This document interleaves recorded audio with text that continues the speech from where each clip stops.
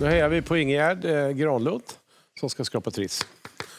Det blir kul va? Det blir jätteroligt. Varsågod och ta en lott så kan vi prata under tiden. Därför att du har nämligen eh, åtminstone sex av dina nio barnbarn som nu sitter och tittar på TV. Jajamän. Vill du vinka till dem? Det är klart. Hej alla barna. Ja. Varför bara sex av nio då? Ja, de andra är stora. Men det är klart, de, De ja, kanske också tittar. det vet man Ja, aldrig. nio. De kan ju gå och Om göra de det. tittar, vinkar jag en gång till. Då, Jag vinkar en gång till till er större med.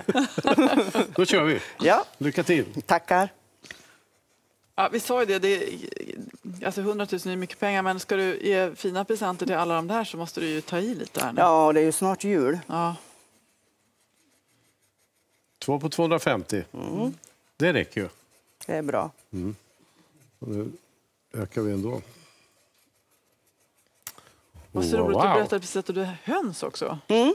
Men i morse har du inte plockat några frukostägg? Nej, idag fick jag äta på hotellet. Det var ju inte lika gott, eller hur? Nej, de var inte lika fina. Nej. Vad heter hönsen? Du, vi har bara namn på en, hon heter Duvan. Hon blir, hon blir inte förvirrad då? eller? Nej, det tror jag inte. Du, nu avgörs det på sista här. Jajamän. Ja, och det blir... Pa, pa, pa, pa. En hundra. hundra. 100 000. Ja. Ja. du får väl sålla bort de där vuxna barnbarnen. De andra kan ju få lite. Det. Tack så hemskt mycket för att du kom. kom. Tack.